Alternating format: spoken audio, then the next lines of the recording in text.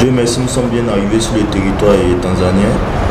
Et, jusqu'à là, on n'a aucun souci. Depuis hier, on a fait notre euh, première séance d'entraînement, ça a été. Et, dit merci aussi à l'équipe Yanga qui nous a bien accueillis.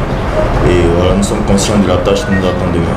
Et nous sommes dans une compétition où tout le monde l'a mérité. Et si Yanga est dans cette compétition, c'est qu'elle a mérité. C'est une équipe qu'on respecte. Et voilà, on a nos techniciens et nos tacticiens qui sont vraiment adaptés à nous donner des conseils.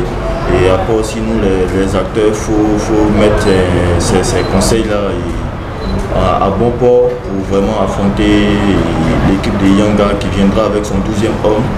Et après aussi, bon voilà, nous aussi, nous sommes TP Mazembe, on sait gérer ces gens des matchs.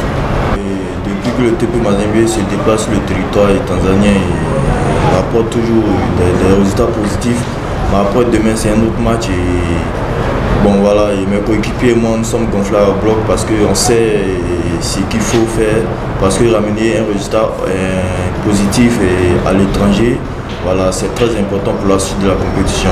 Donc demain, on sait quoi faire pour vraiment ramener un résultat positif à la maison.